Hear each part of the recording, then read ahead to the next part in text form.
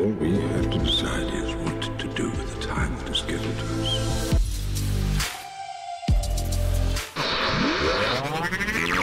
You've reached the internet's home for all things masonry. Join on the level podcast as we plumb the depths of our ancient craft and try to unlock the mysteries, dispel the fallacies, and utilize the teachings of Freemasonry to unlock the greatness within each of us. I have you now.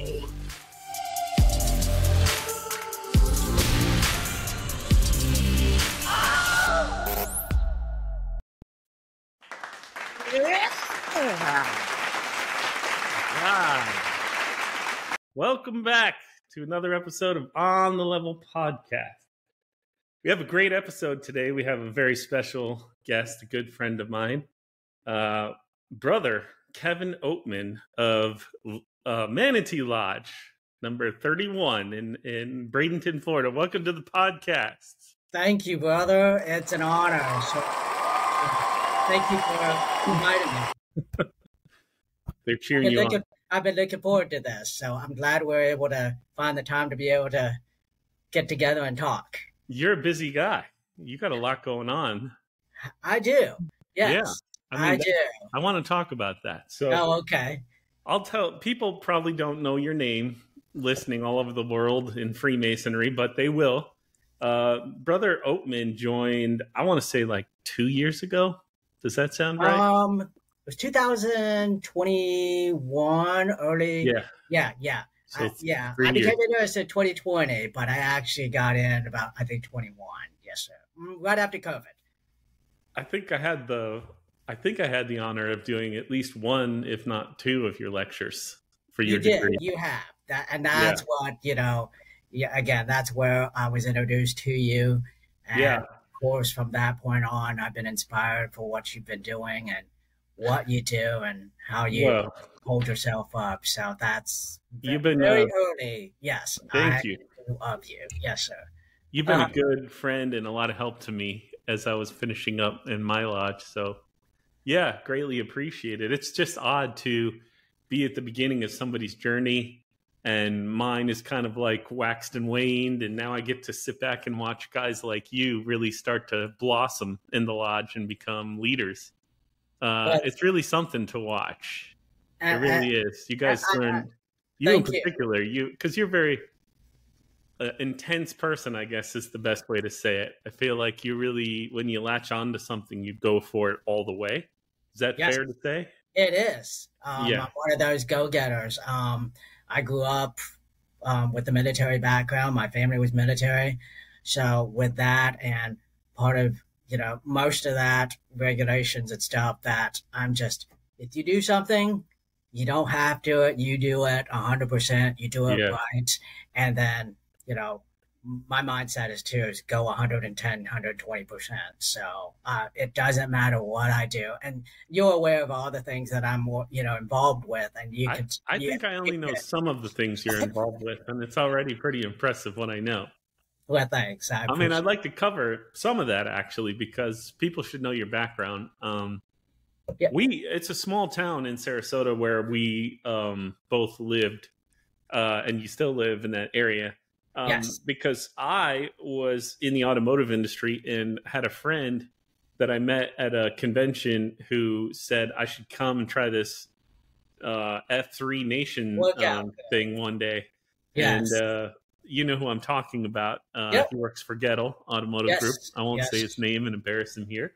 Uh, but he's a very good man, and he talked to me for a while and he convinced me to do it. And I went at five in the morning, and there's this group of guys just killing themselves, jogging, burpees, running up and down hills. I mean, we were doing sit ups and push ups. It was like Yeah. intense. I was Yeah. like a pile of like dog food at the end of that thing and I was just sweating and then they throw you in the middle and they start asking you all these questions and they give you your cool name. So um, I went through the whole thing. then I came to find out you were part of that after I met you. Um, and now I see all the time online. And then I'm looking behind you and I can see you're obviously a very fit person into personal like uh, fitness. Uh, so how like Maybe you could just explain a little bit. What is F3 Nation? Let's start Okay. there. So uh, first, I want to ask you, what was your name? What was your F three name then? So I'm Comic Con. Okay, that's it. Okay, that's right. So F3 Nation is a men's workout group. Um, at first, it started out as nationwide, it started in North Carolina, but it has grown so much in the last 10, 11 years that is now international. Um, so basically, it's a workout group for men. Um, it's free and it's held outside all the time. And we've got five core principles. But one reason why we require it to be outside is because we want it to be accessible to any man, whether you're rich or poor, whether you're minority or anything. Being outside allows that person to have that access. Should we be inside, then you may have to get a membership or you have to be in a hmm. gated community or something. But by doing it outside, rain or shine, that gives access to any of the men. So the we call it F3 because of the three F's, which is fitness, fellowship, and faith. And pretty much the faith part of it is pretty much like masonry. We have to have, in a way, you know, some form of belief of, you know, some spiritual belief. Um, But I, I assume where we are in Florida, it's like masonry. It's mostly Christian, probably. It is mostly, but Yeah. you know, around the world, um, you know, around the country and stuff, we've got a lot of other um, sectors of religion involved, and and- and again, it's not a pivotal or a focus point that we have when we do.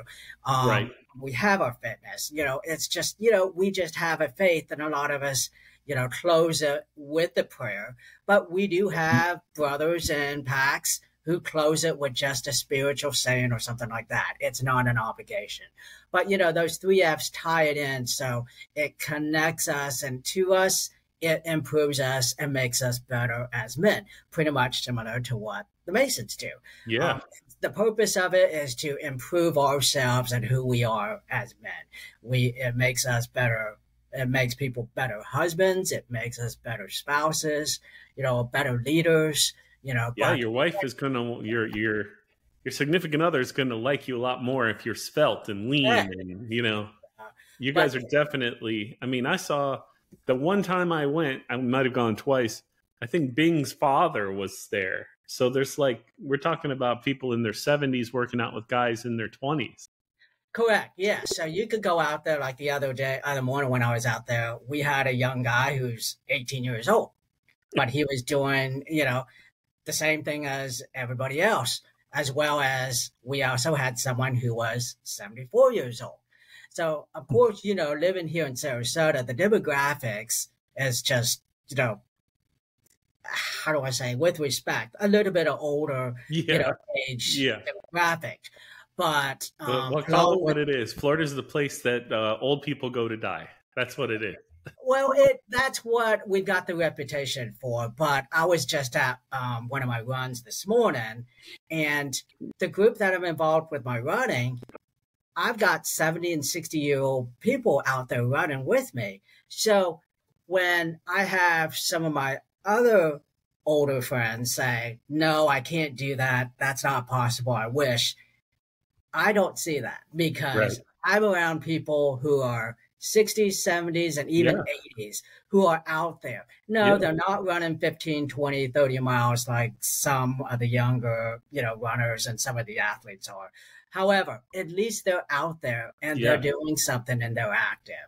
Yeah. So, you know, you can't let age dictate what you can and can't do. And it's just like with masonry. You can't let age or anything stop you from where you want to go. Um, through my travels, you know, while I've pretty much considered to a lot younger, a younger Mason, within my last three, three and a half, four years in my travels, I've seen leaders coming out of Masonry as young as 20, 25 Yeah. years old, all the way up to 80 and something. So Yeah. you can't let age define who you are and what you're capable of. So, Absolutely. As long Yes. as you're alive, Yep. then, then the fight continues. Yes. hmm Now, I'm I'm very aware of your background, and I'll, all I see are medals, and I know that I know that you run marathons. Are these all from different marathons that you've run? They are. Now, um, you can't see them; they're all the way around the room. One good credit about it is I've been running since high school. So it's not a new thing. So these have accumulated over the years, you know, over the last 30, 40 years. What? How old are you now? So, Do you mind a- me asking? So in July, I will hit the double nickels. I'll be 55. 55. So, yes. Okay. Uh-huh. How, you've been running since for over 30 years now. So. I've been running since high school. Yeah. So I started running um, cross country. Um, as you, most people know, I'm a small guy. So of course I was too small to go. I went out for freshman football and the coach said, nope, you're too small. And you think I'm small now. I was really small when I was in high school. So the only thing that really that involved athleticism or activities that I could really be good at was running. So I jumped in there and started my cross country career with high school and kept going since then. It still so. seems like it'd be harder for a shorter person than for a taller person. Like, you know, a tall guy, you'd think you'd have a bigger stride, make it easier yeah. for him. It's funny because the other day at work, you know, someone says, Kevin, you walk too fast. It's like, it's because I have to, you know, all my life I've had to keep up with tall people like you. Um, yes, my stride's a little bit faster, but I'm, yeah, it is. But I think it's more of the effort. And, and yeah. to, you know, in the long run, it benefited me because yeah putting more effort into those strides, whether it's walking or running, it just build up that endurance. And, you know, that's what, you know, I'm pride myself with my run is the endurance part. Yes. You're so well rounded. It's fascinating because uh, this is something that our fraternity is lacking, I think.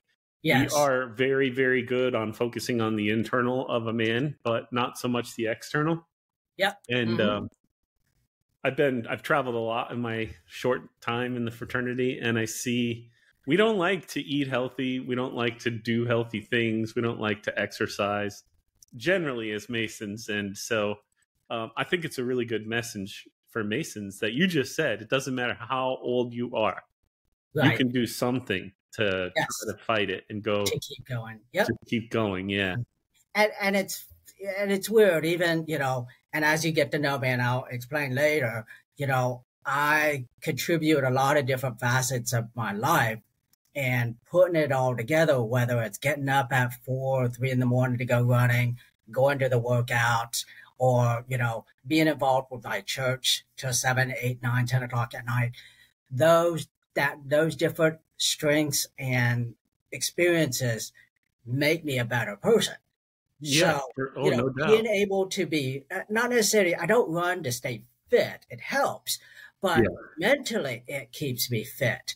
And yeah. by being fit mentally, it helps me when I'm at the lodge and doing anything I want with the masonry. So I think the impacts of those different spectrums of my life come together and helps me become a better person, makes me a better person, oh, whether it's sure. inside the lodge or whether it's outside. Yes. Now, That's how I you actually served in the military? No, I did okay. not. So I'll give you a little bit of history of my background. So I was born in Vietnam back in the 60s. You're Vietnamese. I am. I am okay. Vietnamese. Well, let me say I was born in the Vietnam. However, I'm more Filipino than Filipino. Vietnamese. Right. So, as history knows, throughout the history of Vietnam as well as the Philippines, the Philippines have always wanted to you know, leave their country because of the government, stuff like that. So the majority of the Filipinos headed east, which is over to China or to Vietnam. So a great deal of the population of Vietnam is Filipino. It's got a lot of the Filipino really? DNA in there. So um, out on the streets and stuff, most of the Filipinos recognize me more of them as being part more Filipino than I am Vietnamese. So I was born during the midst of the Vietnam War. What? You know, yes, I was. Wow. Um, and when I was about a year and a half, a military family adopted me and they brought me to the States. And so I've lived pretty much, with the exception of being stationed, um, you know, throughout the country, throughout the United States, I pretty much grew up here in Florida. So I've lived or been familiar, lived in Florida for over 52 years now. Wow. Yeah. So, so You'd think we would talk about this stuff, but we don't. We're really just we're winging it when we record these podcasts. So if I'm getting too personal, please tell me to go pound sand. But what what happened to your parents? So we don't really have an official. Um, I'm assuming you're meaning my biological parents. Your biological parents, yes. So I was um, pretty much abandoned, and I was found by a Vietnamese orphanage.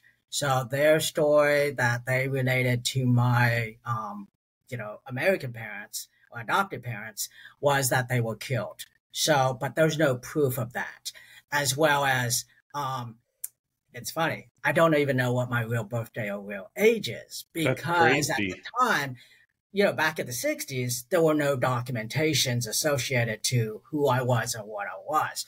So at the time when the babies were being adopted out and getting out of the country, they had to have a birth certificate. So they took a lot of the birth certificates of those babies who have already deceased and put those with those who did not have him. Oh my so goodness. I was given somebody else's Whoa. birth certificate, and that's how I was able to come over to the United States. So wow. really, I don't know if I'm 55 or 54 years old or 55, and I don't know my real birthday. Um, that is insane, brother. Yeah. Yeah. So, wow. I, mean, I didn't know that. Yeah. So a great deal, you know. And you've researched, right? I'm sure at the, by this point in your life. Yeah, because um, the Western world was not able to have access or go visit Vietnam until the late 1990s. But once um, it opened up, I had the advantage to be able to travel over there. Um, I went there two, three times, but on the last two trips, I was able to look at my adoption papers and do some research because even back in the nine, nine, late 1990s or even early 2000s, research of that time on the web is not as detailed yeah. and informative as what it has been in the last five, ten years. So since then, I've been able to research things and gone back. And the last time I went, I actually hired a tour guide to take me out into the Mekong Delta to the area where I was from and I was able to go back and actually see where um, the orphanage I was at and talk to them. Mind blowing, man. Yeah, and then on that trip, what I did because I know it's a third world country and that area is very, you know, um, they don't, they didn't even barely have electricity. I was able to, I took like four or five suitcases with me of school supplies, you know, clothes and stuff, and I took it to the orphanage, and they were so happy. Yeah. You're mm-hmm. such a good person. but I would, it, I would have never thought about that, but that makes perfect sense that you would do that. Yeah. Mm, so, I'm sure they was, really appreciated that too. They did, but it was an interesting country because a trip, not only because I was able to go back and see where, you know, my home country and what it was like, but um, I also was told too by my mom that if you can travel abroad when you're young, don't wait until you are retired. And so between my 20s and 30s and 40s, I visited almost, I've traveled to almost all the Asian countries as well as Central America and South America. And by being able to, especially with uh, Asian countries, you just learn so much and you have so much more of appreciation of the world and yeah. the people, but you get so much appreciation of what I was able to benefit by being an American here in the United States. Yeah. So I see things so much different in ways that most Americans don't even realize what they have and don't have. Mm-hmm. Yeah. I've talked many times about how I feel like I won the lottery. When right. I was born, you know, I'm tall, I got blue eyes, I have my teeth, I have most of my hair. like I I live in the United States right as, as a man. Like yeah. Mm-hmm. I, I I got all the boxes ticked off. So like yep. if I don't succeed, what kind of a loser am I that I had all these benefits and can't succeed? But right. um, for you, I'm sure it feels the same a little bit. Like you feel like you hit the jackpot being oh, raised oh, I, in the United States versus over yes. there. Like that's a right. massive advantage for you. I have, and, and and I don't take for granted of what I have. I knew it was a blessing and a gift for being able to come over here because I have access to free education. I had access to you know get secondary education with my um, college degrees and stuff, as well as being able to become a brother for the you know as a Mason. Um, Yeah. A lot of countries aren't able to do that, Yeah. but um, so yes, I've always appreciated and thankful for what I was giving and the advantages. So like when I hear people today complain because they can't do this or go somewhere, I just shake my head. So excuse me. Yes, but it's like a double-edged sword because I'm I mean we are very lucky in this country. There's no doubt about it. we have We are.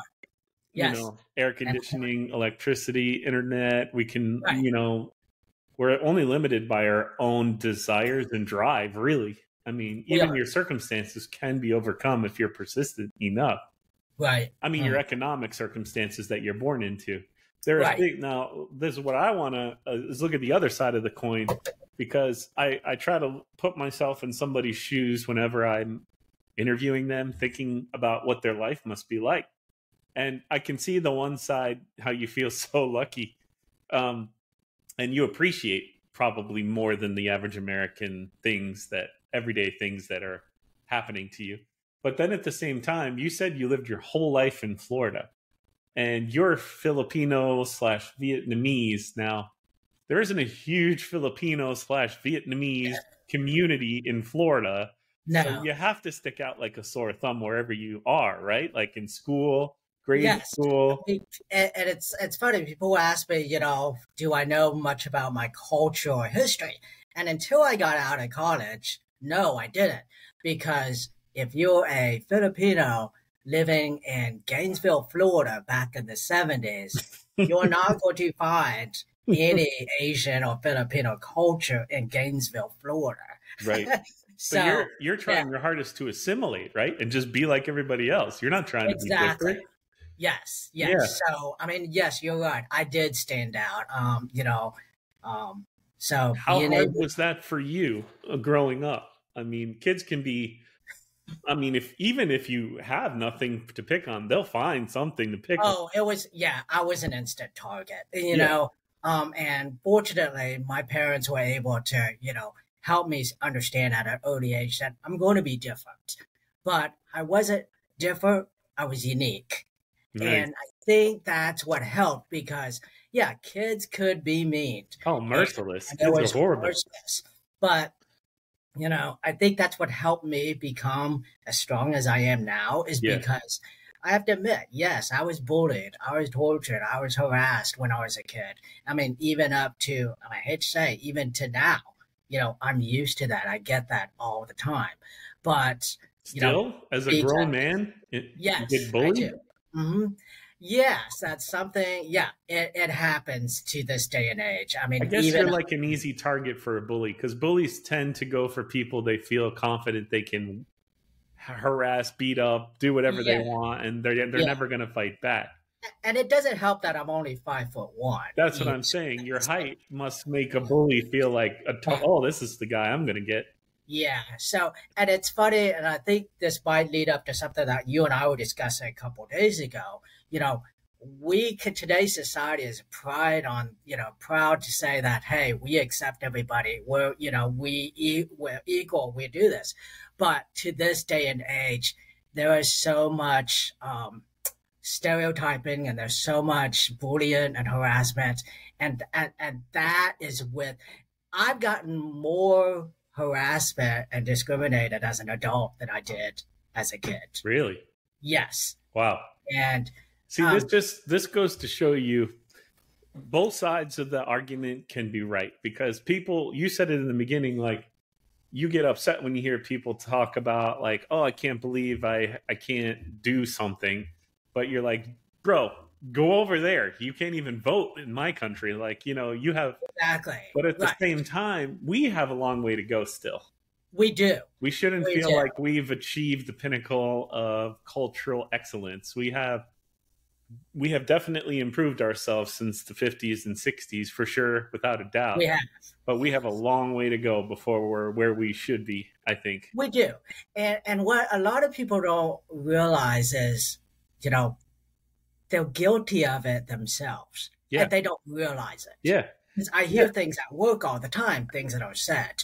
Um, yeah, and and it's you know it's Well, it's, you traveled a lot extensively, you said, and correct. I didn't travel until I was an adult. I grew up in upstate New York, and the only Okay. people I knew were other people on my block. Basically, Yes.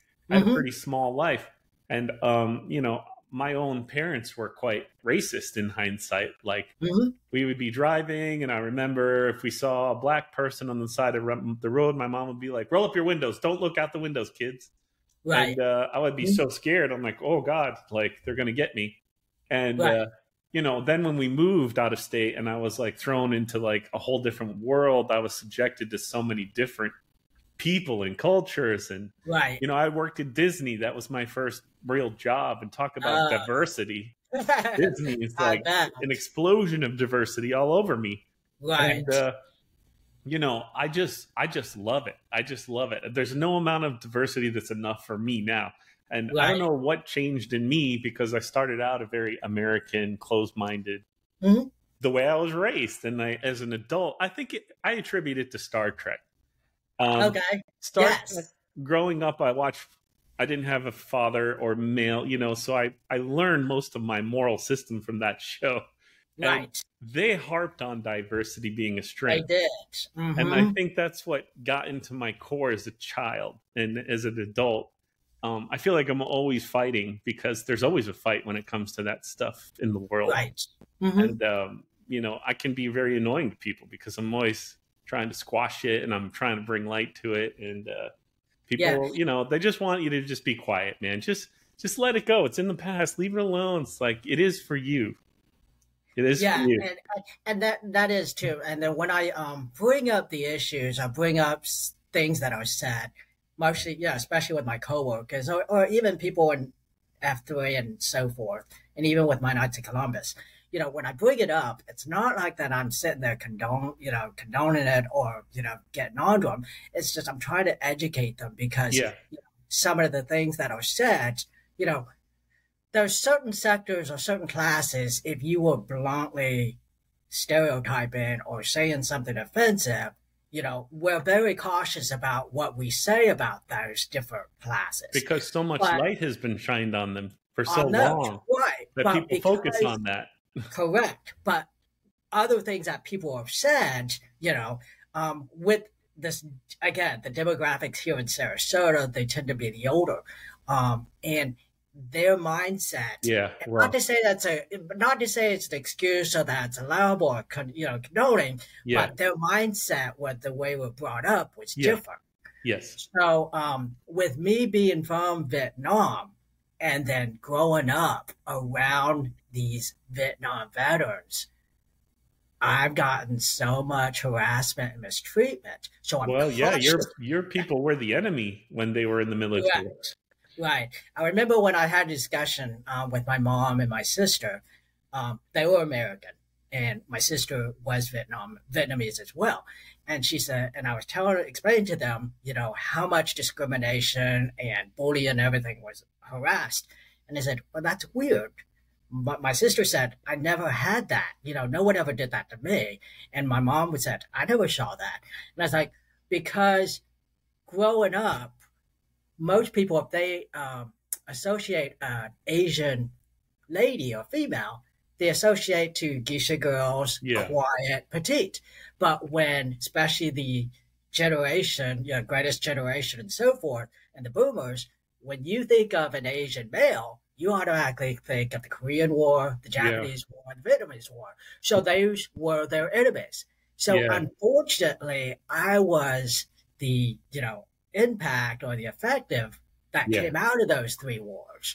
So that's what made the difference. And yeah, but you can't change the past, you learn.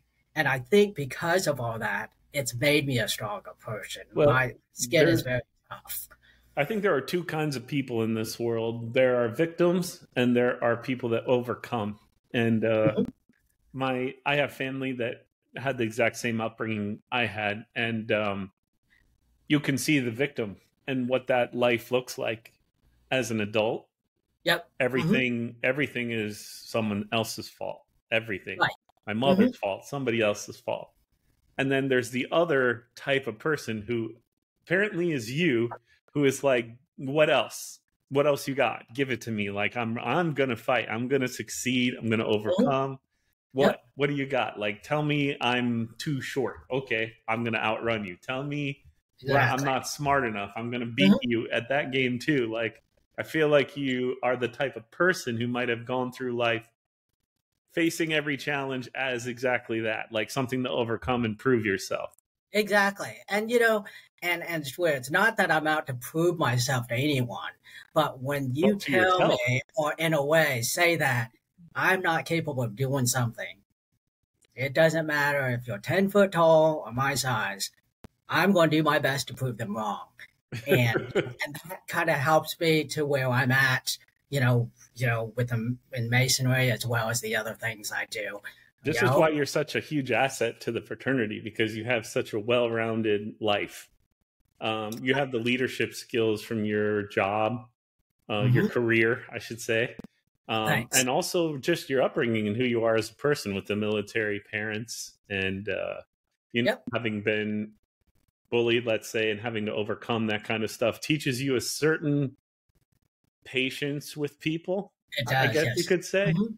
You have to tolerate, tolerate. Yeah, that's a better word. You have to tolerate more than the Right. average person. Right. Um, and Mhm. so when they talk about subduing your passions, you're like, yeah, you know, I got that, no problem. But everybody else is like, that's their biggest challenge is trying to subdue their passions. So you're Correct. ahead of the game in many ways when you come to the fraternity. Well, thank you. I, I mean, in many ways, because It's good, kind of words. Yep. you mhm. talk about your um, Knights of Columbus. You mentioned that. I would love to talk about that. So, not only were you a military uh, brat, uh, you were physically active your whole life and still are to this day. Uh, you have a government job. You you have a very respectable career. Shh, um, Don't tell too many people that I have a government job. I, am not going to say where. You, that's for I- you. I get harassed about that as well. Really? Yeah, because when you tell them that you're with the government or something, they think that I'm aligned with those who are in Mm. power, that I Mm. sit there and agree with whatever they do. And you know what? I work for the municipality. I don't necessarily agree with everything that's going on or Yeah. what they support. So that's it's funny because of all things that I gotta hide in my life or should be keep, I do not tell people what I do out there unless they Really? ask. Yes. Oh, well, I think it, uh, people, you know, for some reason, when you work for the government, you get a certain level of credibility uh, that that's better than even a lawyer or a Uh, doctor. in well, yes and no. It's got that, you know, how to say, two sided thing. Same thing with attorneys. If you say you're a lawyer, some people are going like, oh, They gosh, hate you and respect you. they hate you. And it's the same thing with the government. They either hate you or you know what I do. And I'll tell everybody what I do. I'm actually a um, comprehensive planner, urban planner for the municipality here in Manatee County. So therefore, with all the growth, the development, I'm heavily involved with that. That's what I do. But, you know, when someone finds out that I work for the county as a planner, then all of a sudden I'm the target or the blame. So Mm, how I tell how I explain it to people is, you know, in those old movies when the townspeople have the pitchforks and fires going after the city or the mayor, that's basically what they're doing. But um, as well as if you tell them that I, when I tell them I work for the county, they're like, they think I know everything from Right. what time their garbage gets picked up or why the traffic light on Manatee Avenue is out to, you know, so that's why I'm cautious about what I, you know, what I tell people what I do. that makes sense. Uh, Yeah, I totally get that. Um, I'm proud to, but I'm proud to work for them. I'm, yeah, I'm that's a great. I mean. I love doing it, but yes, I hope the benefits are good. they are one big reason why I'm there. Yes, and the the retirement's great too. So we we've got all of these things in your life that are leading you to be a leader. And now we come to like your faith. And this is something that you've also been like everything in your life apparently like all in. Uh you've been involved in the Catholic Church. You didn't play around with a non-denominational church or a a Baptist or Presbyterian. No, Catholic. You've been Catholic Catholic, your whole life. Practicing Catholic. Correct. I don't mean that you go to church on holidays you're practicing. Could you talk Yes. a little bit about like how involved you've been in the church and, So and, as you and said, how that leads into the Knight of Columbus? Because that's something I want to talk about. So it's funny. I'm not what we call them trifectas. And we call some Catholics trifectas because they only come out on Ash Wednesday, Right. Easter, Christmas. Yep. No, I go to Mass, you know, all the time. I'm at my church four and five times a week. So, um, and, I, and I was, it's uh, funny again. And why I have so much faith is growing up, my family didn't go to church. Mm, But for some reason, something told me as a six year old, I need to go to church. So by the time when I was six years old, I found my way to church, whether as a teacher to come by to get me, or somebody else, a parent coming by to take me to church, or if I walked. I went to church every week since I was six years old. And again, my family didn't go to church. So that was all on me. that's so almost I- 50 years. Correct. So even at that young age, when my mom, you know, made me realize how appreciative life was because I'm here in the United States, I just felt like there's that God put me in the right place at the right time. And my contribution or for me to help pay back is being faithful, you know, have a strong faith.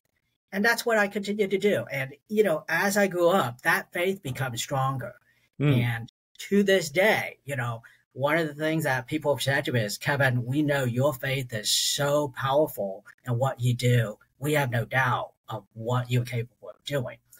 So I chose, or I, you know, to be Catholic because it went along the guideline, you know, the lines of what they believed and what they stood in, but because they are regiment, you know, just like the military, you know, you go do this, you do this. mm, Today we're going to do this. And what helped is in my travels, no matter where I was in the world, I'm going to get the same message. mm. That's what I believe. And I did. And, and that was such a great advantage. A bit of it too is when I traveled, whether it was in the Central America, South America, or Asia, when I went to Mass, it was the same thing. So, um, yes, I, you know, I have the Catholicism plays a big role in my faith. They made an impact on me, um, to the point, as you're saying, of the Knights of Columbus. I am dying to hear about the Knights of Columbus because I, I only know about them. Um, my wife's father was in the Knights of Columbus, but he's definitely not. Uh, and I couldn't talk to him. And uh, one time I was at lunch, and these guys I thought were my wife thought they were Masons having lunch behind us because they had what the same exact kind of badges we have on. Uh huh. Um, but when I asked them, they were they they kind of held up their nose like, "What? No, like we're Right. not Masons. Uh, we're Knights of Columbus." And I said, "Oh, okay." And I shut up because I've heard through the Masons that the Knights of Columbus don't like us. Um, I see nothing in Masonry against the Knights of Columbus. So, what is that about? Well, what are the Knights of Columbus about, and where does this like they don't like us thing come from? So Knights of Columbus is a Catholic organization for men. Okay, that's dedicated to, of course, community service and serving God. So it was originally formed back in 1833 by one of the priests who happened to be up in New York. Okay, and what he realized is back at that time, a lot of the workers, you know, the steel workers, things like that, Mhm. um, or different um, you know, trade works. Yeah, When the husbands, of course, at that time, the man was the only breadwinner. But if something happened or they were, you know, had deceased, the family was left without a head of a household or working, you know, someone to take care of. So the Knights of Columbus were formed to um, support the widows and their families and providing for them should one of their husbands or their fathers passed away. And so that's how the Knights of Columbus came into play. Um, you know, and again, if I'm moving forward, I have so much respect for who they are and what they are and what they do. but you're But one of them. I am. Yeah, So, but at the same time, they emulate what the Masons do. Really? Um, it's no secret now. It used to be secret. We couldn't tell people what we did or how we did things. But from my perspective, all the quote unquote ritual and, uh, you know, esoteric and stuff was so, is almost like mirror image of what Masons do. you were in the Knights of Columbus before you were a Mason. I was. So I've been a Mason for um probably 15 years now. Knights of And- Columbus for 15 years. Uh, excuse me, yes, Yeah. yes, my apology. Yes, That's the Knights of Columbus. So I started out, um, and I eventually became the Grand Knight as of, um, yeah, about three years ago. I became the Grand Knight for my council. So I just recently. Is that um, like equivalent to the Master? Or Correct. It is. Yes. Okay. So um, it's equivalent to the master, and a lot of times I got to be careful because we address our grand knight as uh, worthy, whereas Ah. we address our master as worshipful. So I had to be cautious. Um, one reason the knights do not like the masons or against them, and do and according to some, uh, most, and even the Pope has, you know, uh, you supported this, is they don't, you cannot be a Mason if, you cannot be a knight of Columbus if you, if you're a Mason. And the reason why is because with Masons, we don't actually use the word God. We use address it as the great architect. we do pray and- to God all the time. Um, we do, but we don't say it. we say in God, our- we don't say Jesus, though. correct. I think that's So, probably but- the one that is the but- issue. Well, part of it too. But in their eyes, if we're not allowed to say Jesus or God wherever we want Mhm. and we're restricted, that goes against one of our beliefs and what we stand for. So therefore, that's why. Um, that's basically why. So Well, that's um, too bad. You would you would hope they could have a little bit of tolerance, you know. Um, you think they would, but um, but if especially you go to other Christian organization, have a little if you go to other parts of the country, the Knights of Columbus work together with the Masons. They understand how they work together and that they're not contradicting each other or who they are and what they believe in. You know, when I became a Mason, I'm not surrendering or I'm not losing any of my faith or giving up anything that I have with my Catholicism. And, what I've told many is my Masonry empowers my faith Right. more than anything. right. You know, the Knights have to admit over the years, they become less restrictive, less, um, you know, um, you know, how do I say, demanding. Hmm. So we could sit there and tell you everything that goes on. They're free about that. You know, we could do whatever we want.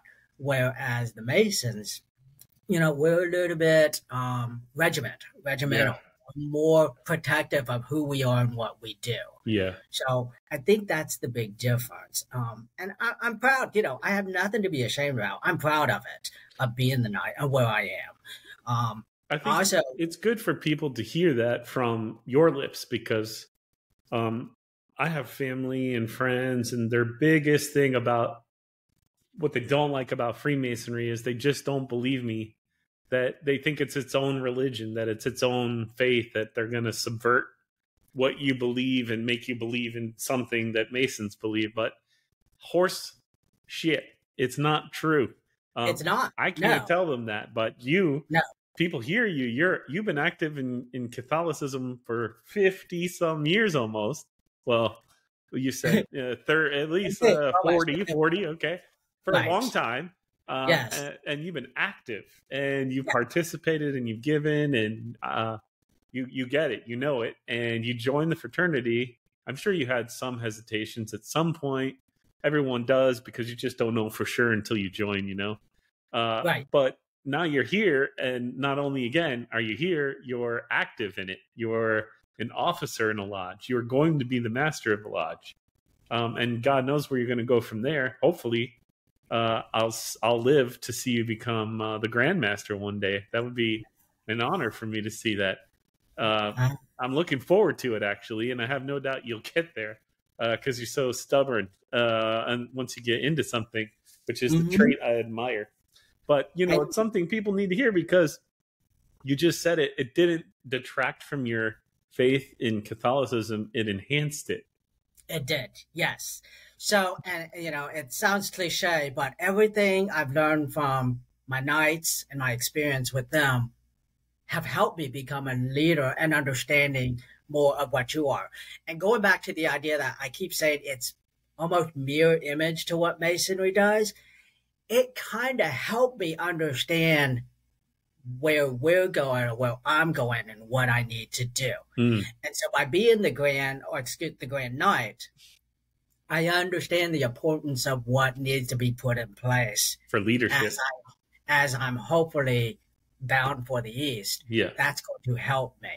Um, so you know the masonries masonry helps me become a better person, not only with my faith, with my Catholicism, as well as the knight, but at the same time, everything I've got out of Catholicism, especially the knights, have helped me to where I am today. And and you know, I'm going to keep that faith, and that's where it's going to go. Um, who knows if it gets out and they may They say may I'm not like you. not like me anymore. Yeah. I just look at it as, you know what, God has a plan. Yeah. He's going to put me in a place. And and it's funny because when I first got into masonry, in my mind I'm saying like there's going to be a point where I'm going to have to decide which One or way the other. go. And it wasn't long after I joined masonry that I knew at some point it's like, okay, I know which way I'm going to go if Really? I have to decide. And here I am still. And so far, you know, things have been, you know, well for me at this point. But Well, yeah, I think it's Mhm. important to note there's nothing in Catholicism that says you can't be a Mason. Um, No. these are is- these are individuals' choices, um, Mhm. and so it very much is a regional thing too. It's like where do you live and and who's in charge as Exactly. to if you're going to be accepted or not. yes. hmm and we we talked a little bit about this before we started recording. Um, I'm not a Catholic. I was raised Presbyterian, um, and I don't even know what the difference is, honestly, because Right. I've never been to a Catholic church. But um, you know the the tenets and the belief system is very different from the practice, and Exactly. I've Right. I've I've been told recently that I'm no good for masonry. That people say that I'm divisive and tearing things apart, um, and I think that's because I'm not afraid to talk about things that should Right. be talked about, and people maybe Correct. don't like that. Right. Uh, Mhm. But uh, in Freemasonry, it's the same. Like the system is beautiful; it's almost perfect, um, and it, it works every time if you if you follow the system. Uh, but the people can screw up a wet dream. I mean, people are just people, um, and so Right. you know, if people's only experience with masonry is through someone that maybe isn't a great mason, you can see how they that that person and everyone they touch is yeah, it creates like a deadly spiral of negativity. Correct. You know, the only answer to that for us and for Catholics is to be a good representative of the system, not like the people around you necessarily. Be more faithful to the system than you are the people yes. and you'll be okay and you'll be a good representative of whatever system you believe in It is.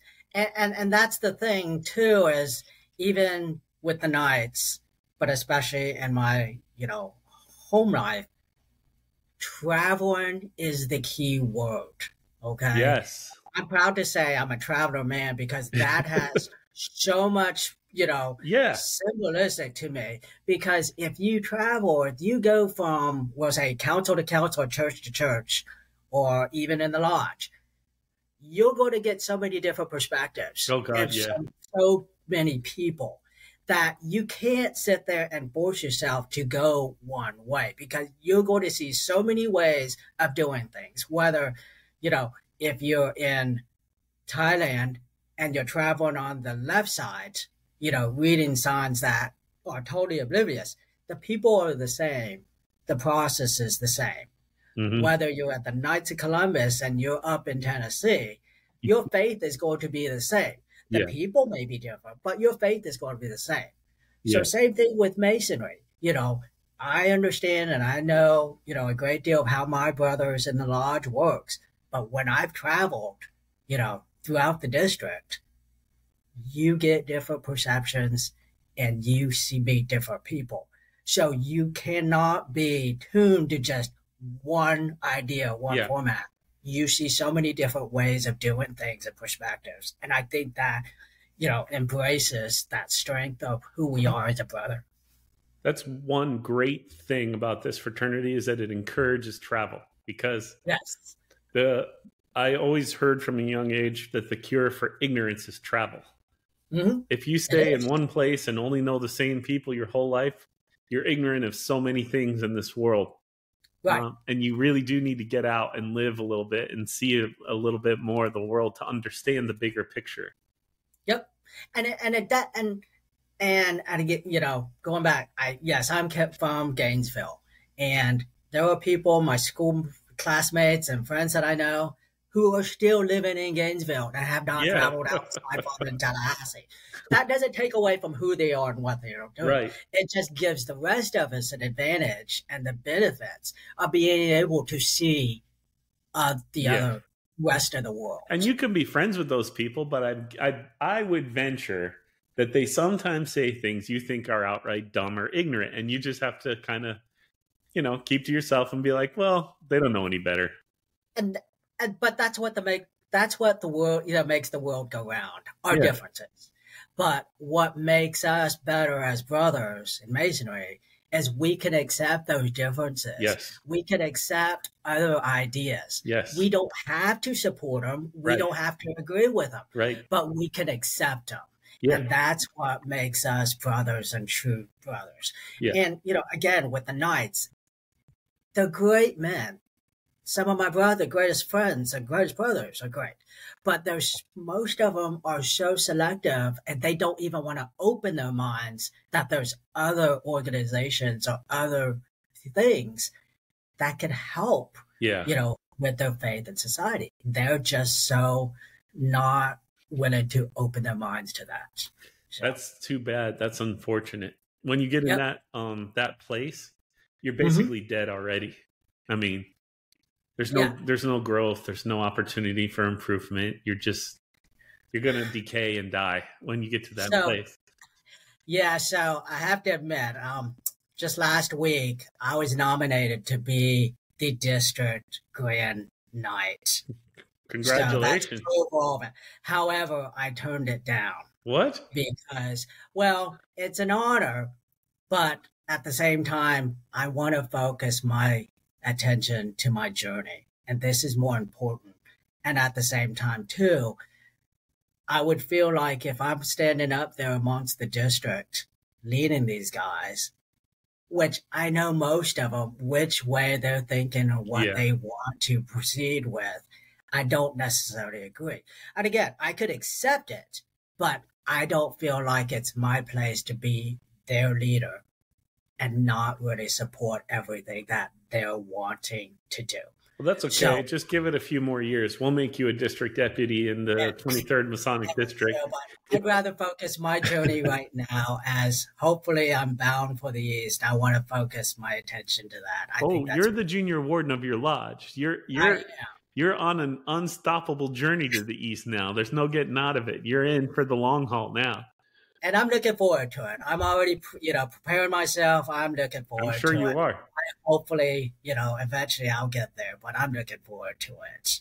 You know, You know, um, uh, I'll bring it back to the beginning. We talked about I was there for your. I was definitely there the day you were raised a master mason. yes, you Um, were.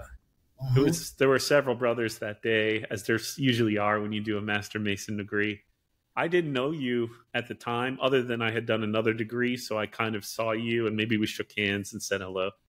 Mhm. Um, but I I was in the mood the day you became a master mason. Like I was, uh, it might have been the first time I was allowed to play the third base in the master Yes. mason degree. We'll say, right. and um, it's a big role, so I I take it seriously. And uh, I was good friends with the master Anthony uh, tomorrow, Tomorrow, yes. and sir. he was he happened to be Solomon. So well, he and I were standing there, and I'll tell the story. I hope it's not embarrassing to you. no, no, no, at all, because it's memorable. Because you know what? Correct, right. If it's a memorable thing that Oh. help teaches others, that's great. Well, Go. you had you had a, a- a diverse group that went through with you. There was like an older gentleman and a younger gentleman, and you were kind of in the middle. And uh, I got, I was like, hey, you know what? I went to Anthony and I said, you know, I think I could like really rough, not rough this guy up, but I think I could do something different. And he said, go for it. And I was like, are you sure? Because I don't know um, if he's going to be okay with it. And he said, trust me, he's going to be okay. Not only is he going to be okay with it, he's going to love it. I said, okay, all right. So you came around and uh, I struggled a little, but I did get you up over my head. I grabbed you and picked you up over my head, and I'm I'm saying what I got to say and doing what I got to do. Um, I realized once I had you up there, I had no plan for what to do once you were up there. So Mhm. I just kind of put you down, and we finished the whole degree. But honestly, my I couldn't stop thinking about. I hope I didn't offend this man. I hope he's okay with this. Uh, and you got up at the end and said some pretty heartfelt words that day. Um, and you looked right at me and said, "Thank you. I appreciate everything you did today." And I thought, "Okay, he's okay." Uh, Yes. there was like an hour where I was just beating myself up, like I went too far. I, I, you did it. You did it now, Chris. You went too far.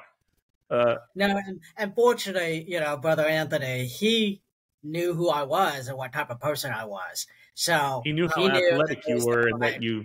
and it, and, it, and it was a great opportunity not only for you, but it was a great experience for me because I'll never forget it, and I'm sure you'll never forget it. I won't. So again, it was the right time at the right place Yeah. because how many other opportunities are you going to be able to do that, or anybody Never. be able? Never. You're not. I'm like So- six foot three. You're how tall? How tall did you say? Five foot one. Five foot one. I was like, this Yeah. just seems like it's supposed to happen right now. So yes, and it, and it did. And you know, it's been, and not only did that make that stronger bond with you, but it made that experience and memorable. So, yeah, I'm sure it was memorable for everybody in the room that day. But now when I go and see it happening to others, I'm like, that's Boring. it. that's it. we had a special day. Yeah, I don't think that's ever been done, and I doubt it will ever be done again. Hey, And I you know what? And if if the experience you know resonates through others and helps them, you know, experience get more out of the experience, then that's the best thing that could happen. You know, I Well, really, So- honestly, ever since then, you've been a big supporter. You you always came to my lodge. You always helped when you were we asked you to help. You're wearing the T-shirt that you purchased. You didn't Yeah. accept a free T-shirt. You had to pay Yeah. for it because that's the kind of person you are.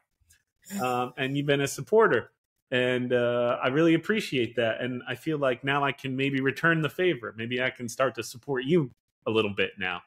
Uh, you've always supported me. I mean, you know, more ways than one. You know, and it's like anything else. It's the little impacts, or let me rephrase that: the big impacts that you make on someone behind the scenes. yeah. That's the importance, right? Well, that's where the Yep. important stuff really happens. You know, yes, it does. those meetings So are. me, y- yeah, you're gonna help me out eventually in the next couple of years. So I, I I'm very much looking forward to your journey and um, seeing it.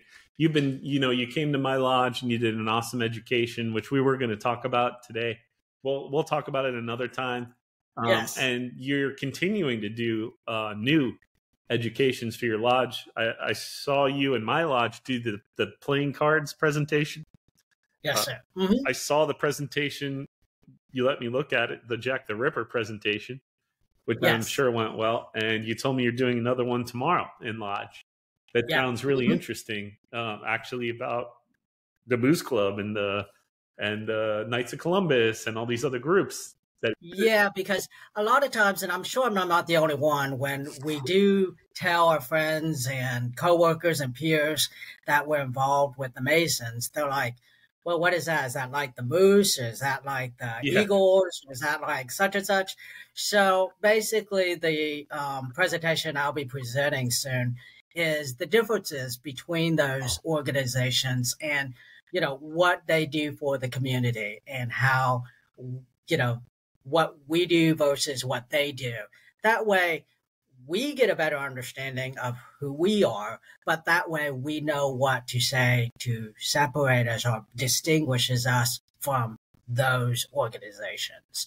Um, I wish now- I could see it in person. Uh, I'll see it. You'll do it again. well, I'm hoping most of your guys will be there because some of your guys because we've got the They're traveling planning guys to come get it. and they're planning to come get We it. don't have So much I- luck with that though. Wherever we go, somebody else always comes and they always outnumber us. So yeah, so like three the last three times we've gone to places and we've been outnumbered and didn't come home with a traveling gavel. Yeah, so yeah, I'm looking forward to seeing some of you all there tomorrow night um, at our meeting. But um, yeah, so um, uh, yeah, I'm I'm I'm honored to be asked to do the Masonic education for Manatee 31. Um, but I take a different approach, and I know once in a while I'll throw in, you know, what Masonry does or basic things, you know, what we can do on education. But I truly believe that when I come up with some of these unique presentations that I've come up in the last year or so, it draws a different interest for the brothers. Yeah. You know, sometimes when we say, okay, we got Masonic education, they're going like, okay, what are we going to do? Are Somebody's going to print out, something out and yeah, exactly. Look at these sides. So I just feel that if I add a different uniqueness or an interesting element to something, you know, somebody could say, well, Jack the Ripper, that's not, you know, you're just a presentation. But if you really read into the presentation I made, it makes you think of who we are as Masons, Yeah. what we do, and how it contributes. So it's not the presentation itself that I'm doing to educate, it's the thought or the mindset or how you're thinking about this presentation Yeah. that to me is stronger to build that connection for what Mason masonry is. Yeah, it forces them to look at something they know, they think they know, in a different Right. light. And like Correct. and that kind of drives people's uh and this is the point of freemasonry we are supposed to come together with our different backgrounds and different religions together and Mm-hmm. Yes. ask the big questions and It is. we're all supposed to give our perspectives and we're supposed to try to read into what the stuff means and we're Right. supposed to try to find a personal answer for ourselves and Right. so those educations are really triggering one of the main things that's required to be a good mason which is critical thinking and trying to look at something even mundane in a different way a little more Right. critically Yes. So as you can see, you know, from what I've told you about my history, that's basically the, you know, my whole life. I'm not typical. I'm different. I'm unique. So whatever I've had to do or whatever have been brought to me, I've had to step out of the box and think, how am I going to be able to accomplish what everybody has been able to do, but in a different way that would help me adapt to what's going on and succeed. And whether it's by faith, whether it's by education, fitness, or masonry, you got to step out of the box every once in a while and look at it from a different perspective. So, and that's how I see it. You know, many could say that, well, Kevin, we didn't do it this way, or we've never done it this way. Tradition calls this. I understand tradition. I rep, you know, I respect that.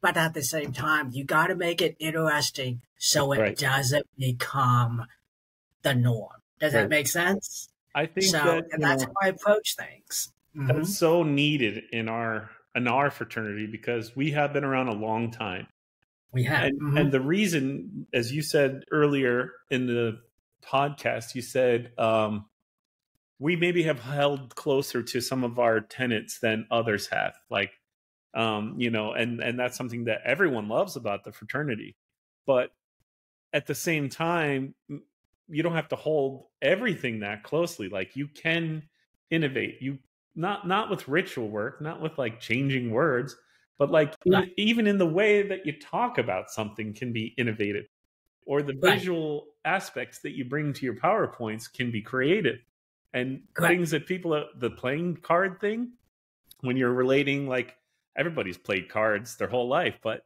when you start to look at each individual card as you do and you break it out and kind of tie it into different Masonic things, it starts Yep. to make you. We're supposed to look at the whole world around us in this way with wonder and Right. critical eye and like try Right. to find meaning in everything. And so I think this is really a highly overlooked part of the fraternity is Mhm. people that bring their personal experiences to the mundane and and present something to me this is what masonic education should be presenting something to masons in a way that makes them think about masonry but also makes Right. them think about themselves in a way Is that- Yep. I don't know if you're doing that on purpose but that's what i see in the presentations uh, I, I do. shared with me I mean, just you know, without going in full detail with the the cards, yes, you take a normal deck of cards, everybody knows it. But when you look at each of those things that you just said, but then with those cards, you're never sure of what you're dealt with. Just like life, you're never sure what you're going to be dealt with. But looking at those different symbols and see how they play out, it makes you think how am I going to strategically play the right cards in order to succeed? So that is the whole backbone of that presentation, not that the king represents this and this. It's putting all that together with your experience in masonry and how you're going to put those things, those facets together in life. So hopefully your journey will become successful. I And- love it. That's such a good tie into everything we've been talking about today. A deck of Mhm. gear. When you play cards, people say that it's a game of luck. People that know cards know that it's not a game of luck. It's a game No. of skill.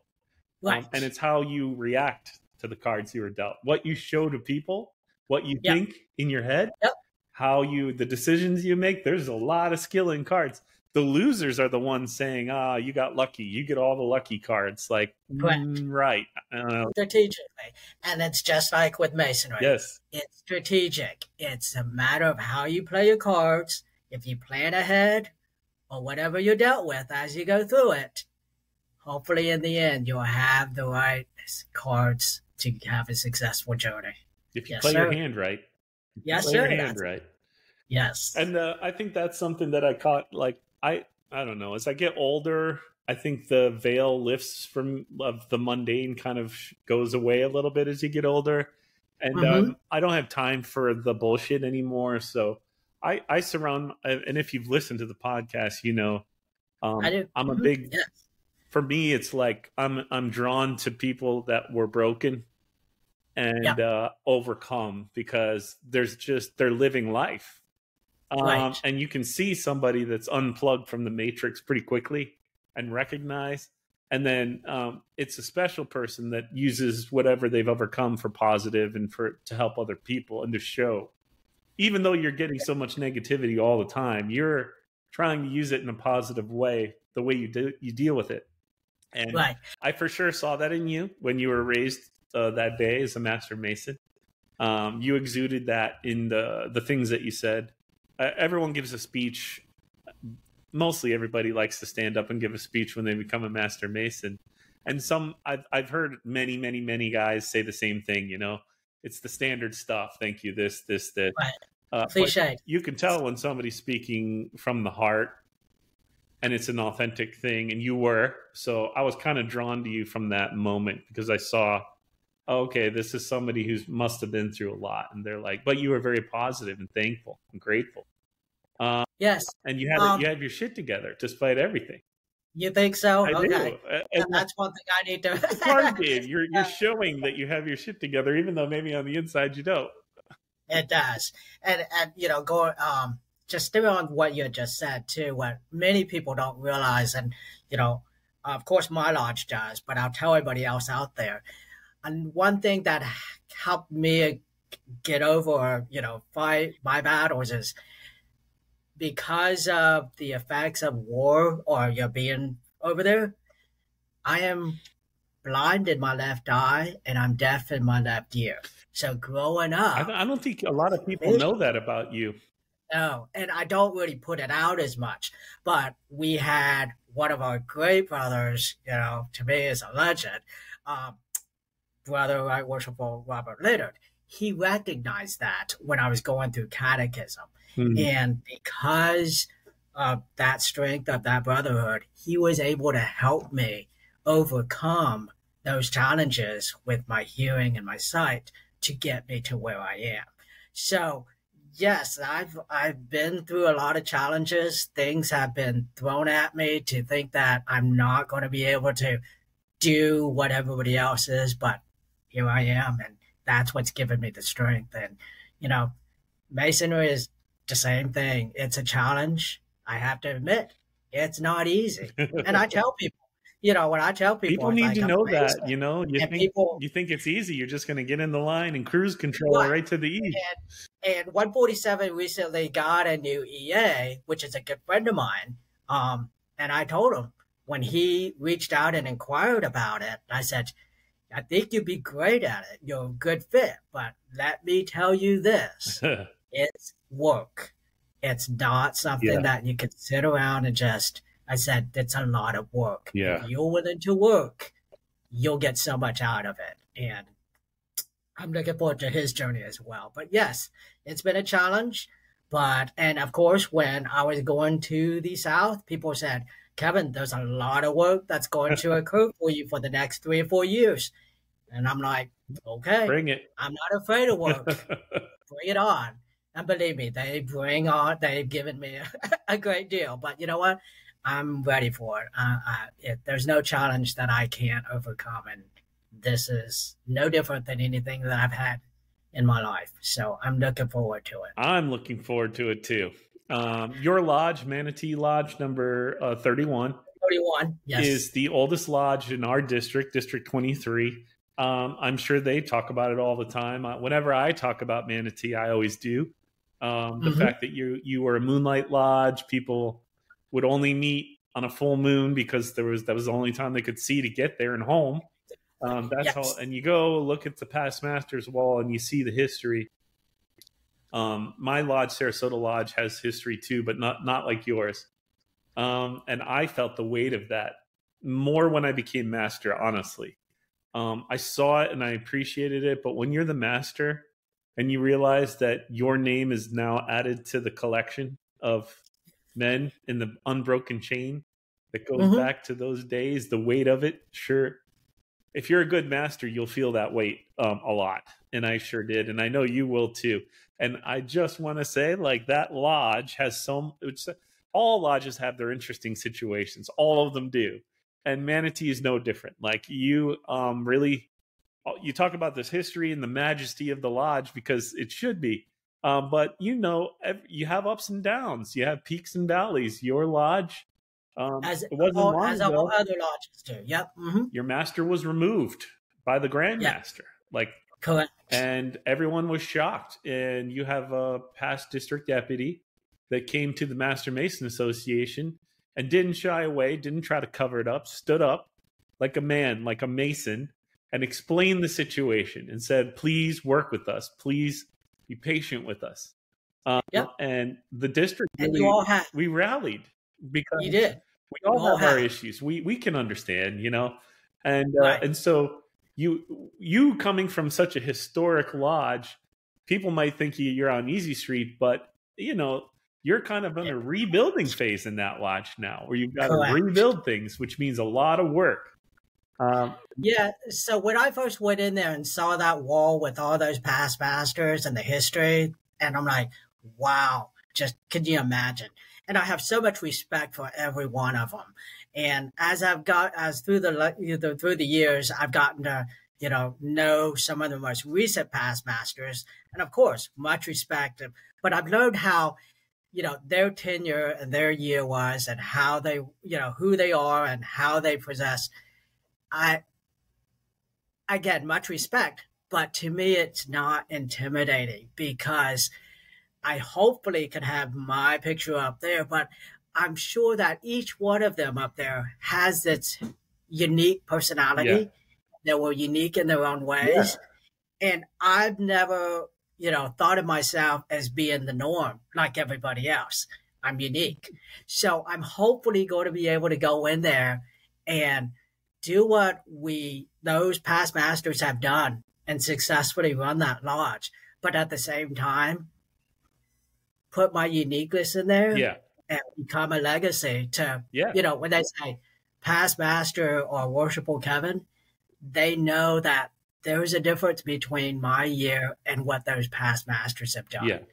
Um, you know, again, it's much respect, um, and I will hopefully not disappoint them if I should ever get in the East.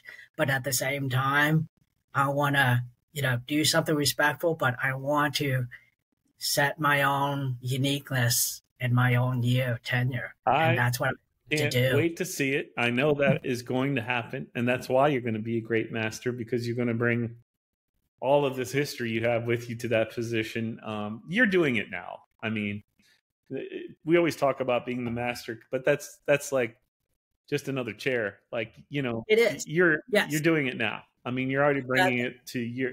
You're handling the trestle board for your lodge. You know, you're trying to do a lot of uh, things that they haven't done for some time and these are all good for the lodge and it's good for you to have a the ability to do this for them because this is how we show our love we Mhm. we work that's Yep. that's big in masonry we do the work and when you We do, do. the work it's meant to be hard but to appreciate what is being done yes and you appreciate and respect the work that past masters and everybody else before you came. yeah And of course, you know, it's not intimidating, but at the same time, I don't want to disappoint Right. everybody who came before me. And I'm going to do my best to, you know, keep Manatee and keep its history. And that's the big thing, as you mentioned, the challenge that we had, you know. Yes, it was a challenge. And a lot of times I felt the impact of, you know, what had occurred last year, you know, on the backside. yeah But you know, the whole time it's like, you know what? This is just a one time thing. Things are going to move forward. And you know what? We've got to adapt. We got to move on and don't let it get to us and just move forward. Yeah. And that's what we're going to do. I mean, the biggest thing I think uh, Manatee 31 is set out to do right now is to ensure that we keep that legacy going. We keep that history going. And, you know, we're going to hit some mountains and valleys as all other lodges have. And you know what? We're no different than any other lodge. We're going to peak and we're going to go down, but we're going to keep going. We're not going to stop and cease to who we are. We're going to keep going. And a hundred years from now, when you've got all those past masters, and hopefully myself as well as the current master, when those brothers a hundred years from now look back, they're going to sit there and say they kept it going. yeah So, yeah, well and, and it is. And, and and as I drive into the lodge, we have a, I think it's a graveyard or cemetery. I'm trying to think. There's a difference between a graveyard and cemetery. You know the difference, correct? no i don't know the difference. So a cemetery, well, a graveyard is right next to a church. A cemetery doesn't have a church. So Ah, I'm trying to remember. I think we have a cemetery across the street. So every time I drive by it, really I and yes, and we have past masters and Masonics, uh, Mace brothers in that. Hmm. So every time I drive by there, I'm thinking, I can't let them disappoint it. They're watching me from across the street. They're watching us, yeah and they're making sure, and I'm making sure they can still see us across the street. that's something important that I think more Masons should have on their mind as they're in the line is that Yep. don't don't disappoint the work that everyone before you brought. Don't exactly. disappoint. Don't disappoint. Don't do things for you. Do it for them. Do it for the people Correct. behind Yes. you. It's not about Right. you. You're just a link in Right. the chain. and that's what I've always said. It's not the title that I have. You come up to me and call me Kevin. You could call me brother, but it's not the title. It's the work and the effort and the initiative and the love that and the passion that you have that makes the difference. So if I get into the East, I think that's great. But yes, it's a chair. I'm just there to make sure that we keep going and that legacy continues. And that's what we need to all focus on. I need you to stop saying hopefully, and I think you got to remove that stuff from your vocabulary. It's going That's to happen. it. So- It's going to happen. you, uh, you, Yeah, I do. But yes, I am very positive about my journey and I can't wait to see where it goes. You're doing Even great past. things for Manatee Lodge and also for our district because you are a traveling man. You do visit other lodges. You're active in the Master Mason Association now. Um, if you listen to the podcast, uh, one of the things I like to do, and now that it's just me and I'm interviewing a lot of people, is uh, give them an opportunity to have the last word on the way out. Um, I've taken up an hour and 20 minutes of your time. Uh, we didn't get to the playing card uh, presentation, so I propose you come back and we do talk in more detail about that now that people know who you are. Yes. Uh, we can talk about some of your education next time. But um, I I want you to know from me um, and Sarasota Lodge, you're appreciated. Uh, you helped us a lot, and you're continuing to help us. The guys really do appreciate everything that you do. Uh, Zach called me that you were there, and he said you're always such an awesome person. You're always willing to help, and uh, that's Thanks. just uh, being a good brother. You're a good brother. Um, it is. Mm-hmm. And so we're thankful. You know that- I'm grateful. I'm hopeful. Um, I know you won't disappoint. I have no fear that you're going to disappoint. Sure, listen, you're human, like I'm human. We will make mistakes. We will have a bad day, but at the end of the day, I think you're going to look back and be really proud of the things that you've done and and the people that you've impacted, uh, as you are currently impacting people's lives already. Uh, so yes, I wanted to give you the last word on the way out. We we have listeners all over the world that are Masons, uh, far outside of Florida, so, um, what would you like to say to those brothers?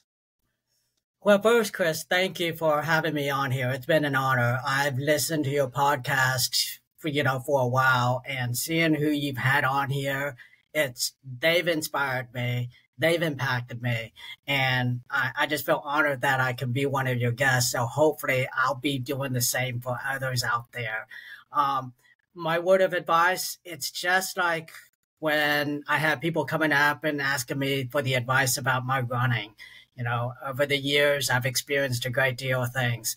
And I'm going to tell you the same thing to those brothers do what's best for you. You're the only person that could tell you and know what's right for you. I could go out and run 15 miles in the morning. That works for me. If you can't do it, then you could only do two that's best for you. Same thing with masonry. If you feel that you can do it a certain way, you do it however what fits for you. Don't let anybody else come up and tell you they did it this way or it works best this way. You do what's best for yourself. And only you and the great architect can tell you that. I love it. So thank you. Thank you. Thank you. Thank you for that. That's a great message for the brothers to hear. It's a personal journey in this fraternity, just like life. It is. And it is. We're here to be better people. And so do what's best for you to, to become a better person. Correct. Love it. All right. Thank you, brother. Well, thank you. We'll see you next thank you, time brother. from On the Level All Podcast. Right. We're out. All right. Thank you. Have a good one.